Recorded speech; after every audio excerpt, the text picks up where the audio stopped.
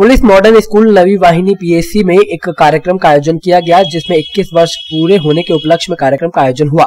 कार्यक्रम का शुभारंभ मुख्य अतिथि डीआईजी ओंकार सिंह ने सरस्वती माँ के समक्ष दीप प्रज्वलित करके किया। सभी के आकर्षण का केंद्र रहे छात्र छात्राओं द्वारा निर्मित विज्ञान प्रोजेक्ट और हस्तकला की वस्तुओं को सभी ने सराहा।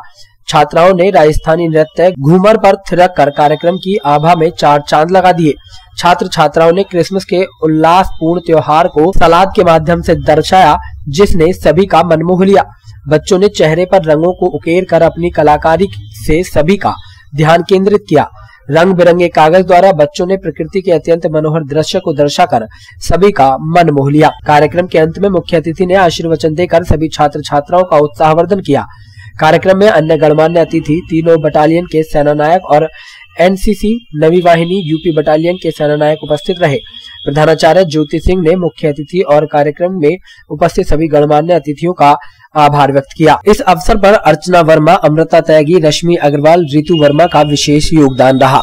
मॉडल स्कूल के बच्चों ने आज एग्जीबिशन लगाई हुई है, इसमें आर्ट एंड क्राफ्ट से रिलेटेड बहुत सारे मॉडल हैं, कई सारे साइंस से रिलेटेड मॉडल हैं। बच्चों ने बहुत ही मेहनत करी है, बहुत प्यारे प्यारे और अच्छे मॉडल लगाए हुए हैं, जो उनकी क्रिएटिविटी और उनकी नॉलेज को दिखाता है। इसके लिए मैं इन बच्चों को, इनके माँ बाप को और उनके टीचर को बहुत बहुत शुभकामनाएँ देता हूँ और सभी से अपील करता हूँ कि सब आकर के यहाँ इन बच्चों की तरफ़